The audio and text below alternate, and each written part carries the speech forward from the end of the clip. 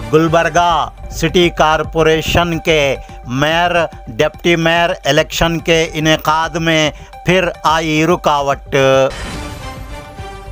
Gulbarga city corporation के mayor, deputy mayor election को लेकर जारी तनाज़े में आया नया मोड़।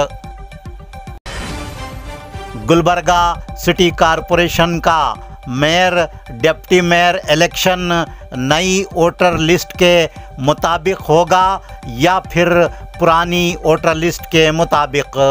कर्नाटक हाई कोर्ट की डिविज़नल बेंच 14 मार्च को करेगी समात गुलबर्गा हाई कोर्ट की चार रुकनी बेंच ने गुलबर्गा सिटी कारपोरेशन के मेयर, डिप्टी मेयर इंतबात की पुरानी वोटर लिस्ट की बुनियाद पर कराने के कर्नाटका हाई कोर्ट गुलबर्गा की सिंगल बेंच के फैसले पर आज रोक लगा दी है।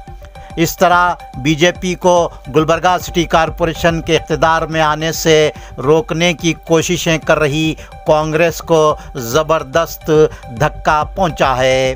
गुलबर्गा सिटी कॉरपोरेशन के मेयर, डिप्टी मेयर का इलेक्शन पाँच फरवरी को होना था, लेकिन एक दिन पहले कांग्रेस की दरख्वास्त पर कर्नाटक हाई कोर्ट गुलबर्गा की सिंगल बेंच ने डिविजनल कमिश्नर गुलबर्गा, जो गुलबर्गा सिटी कॉरपोरेशन के मेयर, डिप्टी मेयर इलेक्शन के इलेक्शन ऑफिसर हैं, को पुरानी वोटर लिस्ट के मुताबिक इलेक्शन कराने की हिदायत दी।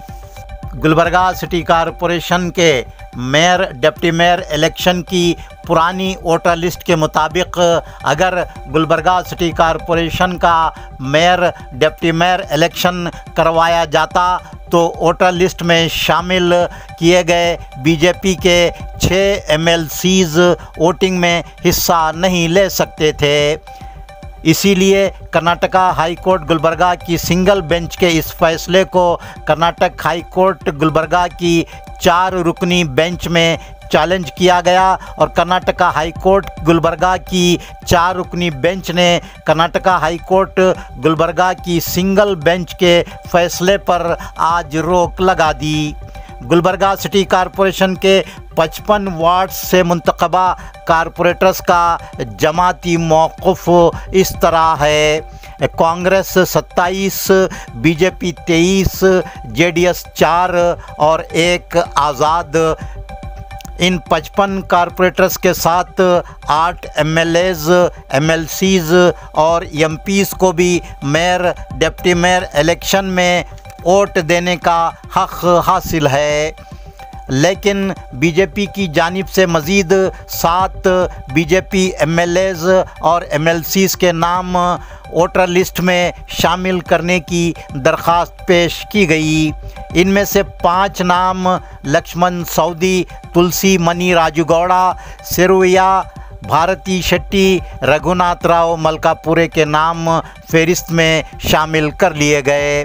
इस तरह गुलबर्गा सिटी कॉरपोरेशन के मेयर, डिप्टी मेयर इलेक्शन में वोट देने वालों की कुल तादाद अड़सठ हो गई। और बीजेपी गुलबर्गा सिटी कॉरपोरेशन के मेयर, डिप्टी मेयर इलेक्शन में बसानी कामयाबी हासिल कर सकती है। लेकिन कांग्रेस ने कर्नाटक हाईकोर्ट गुलबर्गा की सिंगल बेंच से रुजू होकर पाँच फरवरी को होने वाले गुलबर्गा सिटी कारपोरेशन के मेयर, डिप्टी मेयर इलेक्शन पर रोक लगा दी थी। बीजेपी के एम ने इसे कर्नाटक हाईकोर्ट गुलबर्गा की डिविजनल बेंच में चैलेंज किया कर्नाटक हाई कोर्ट गुलबर्गा के डिविजनल बेंच के justice S R Krishna Kumar justice K S Hema Lekha ने कर्नाटक हाई कोर्ट गुलबर्गा की सिंगल बेंच के फैसले पर आज रोक लगा दी। अगली समात 14 मार्च को मुकर है। 14 मार्च के बाद ही ये वाज हो जाएगा कि गुलबर्गा सिटी कॉरपोरेशन के मेयर, डिप्टी मेयर का इलेक्शन वोटर्स की पुरानी लिस्ट के मुताबिक होगा, जिसमें तिरसठ वोटर्स शामिल हैं, या फिर नई वोटर्स लिस्ट जिसमें अड़सठ वोटर्स शामिल हैं की बुनियाद पर होगा।